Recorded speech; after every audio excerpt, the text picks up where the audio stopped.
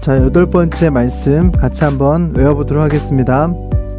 또 내시로 말미암아 천남 만민이 복을 받으리 있는 내가 나의 말을 준행하였음이니라 또 내시로 말미암아 천남 만민이 복을 받으리 있는 내가 나의 말을 준행하였음이니라 창세기 22장 18절 창세기 22장 18절 창세기 22장 18절 창세기 22장 18절. 또 내시로 말미암아 천하 만민이 복을 받으리니 이는 내가 나의 말을 준행하였음이니라.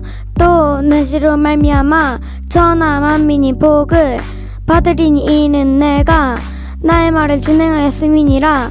창세기 22장 18절 창세기 22장 18절 창세기 22장 18절 창세기 22장 18절. 또 내시로 말미암아 천하 만민이 복을 받으리 이는 내가 나의 말을 진행하였음이니라.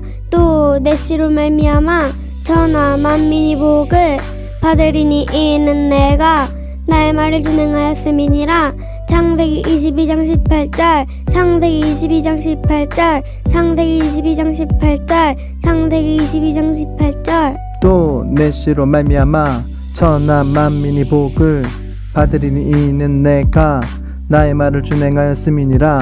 또 내시로 말미암아 천하 만민이 복을 받으리니 이는 내가 나의 말을 준행하였음이니라. 창세기 22장 18절 창세기 22장 18절 창세기 22장 18절 창세기 22장 18절. 자 오늘도 같이 외워봤는데요. 벌써 여덟 번째입니다. 우리 앞으로도 계속 같이 말씀 외우도록 하겠습니다. 그럼 안녕